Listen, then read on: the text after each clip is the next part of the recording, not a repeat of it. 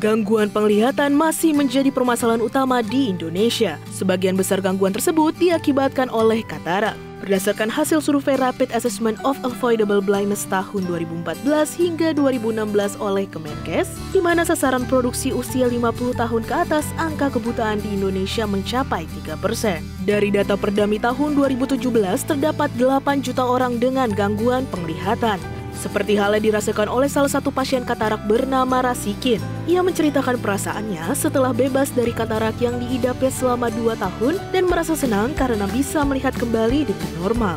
Untuk tindakan katarak melalui operasi pun biayanya cukup besar.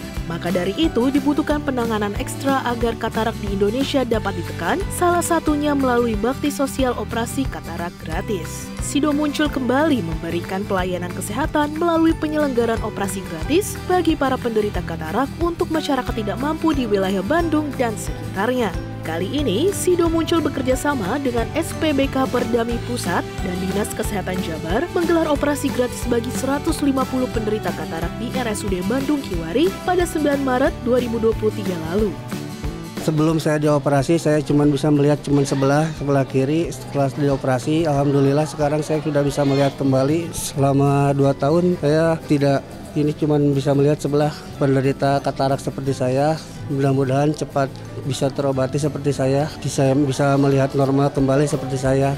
Maka itu kalau nanti para pasien yang yang sudah dioperasi, semoga mereka nanti memberitahu gitu sama tangganya ya bahwa dioperasi itu nggak sakit, berhasil, gampang dan bisa melihat dan gratis. Yang kedua ingin mengembangkan nanti kalau ada untuk bibit sumbing di rumah sakit umum daerah Bandung Kiwari ini supaya kalau ada kami nanti akan ikut partisipasi lagi bibit sumbing dan yang ketiga stunting tadi dengan Ibu Gubernur kali ini Jabar ini mendapat predikat terbaik penanganan stunting. Paling penting adalah mencari pasien dan mencari partner di dalam melakukan kegiatan kami. Kami ini pengusaha, jadi kami nggak punya akses ke mana-mana. Maka itu dibutuhkan Pemda, Pemkot, atau yayasan-yayasan nirlaba yang bisa membantu kami. Partisipasi kami ini bisa tersalurkan.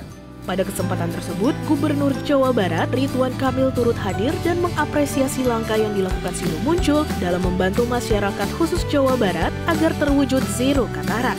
Masalah kesehatan, potensi kebutaan katarak, kemudian bibit sumbing, juga kemudian stunting itu menjadi salah satu kolaborasi pemerintah uh, Provinsi Jawa Barat bersama pihak ketiga, salah satunya dengan PT Silo Muncul. Mudah-mudahan keteladanannya menjadi sebuah inspirasi bagi semua untuk melakukan hal-hal yang uh, serupa.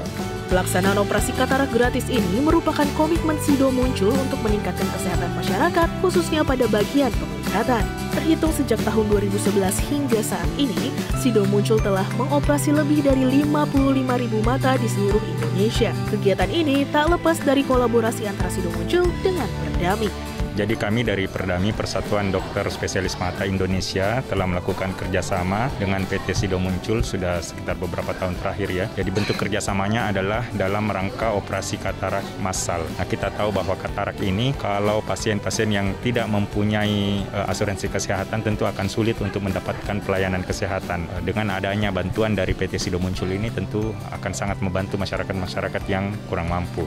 Alhamdulillah secara medis, secara teknis pelayanan kesehatan semuanya berjalan dengan baik sesuai dengan indikasinya dan pasiennya pun normal tidak ada keluhan sampai saat ini. Tapi tetap kita melakukan kontrol terhadap para pasien kami. Tenaga medis tentunya banyak, ada 9 sampai 10 dokter spesialis mata yaitu dari Perdami Pusat datang ke sini, kemudian dibantu oleh spesialis mata kita juga Bandung Kiwari beserta perawat-perawat dan tenaga medis lainnya dari Rumah Sakit Bandung Kiwari. Ada 60 panitia dikerahkan untuk kegiatan e, tiga hari ini. Sekarang sudah berhasil dengan sukses, diakhiri dengan seremonial. Ya, mudah-mudahan ini ada kebermanfaatan untuk masyarakat Jawa Barat khususnya masyarakat Kota Bandung. Sido Muncul akan konsisten membantu pemerintah dengan memberikan kesembuhan bagi penderita katarak di Indonesia. Konsistensi ini diwujudkan dengan mengajak berbagai pihak untuk bekerja sama mengadakan operasi katarak gratis agar dapat meningkatkan taraf hidup masyarakat di Indonesia.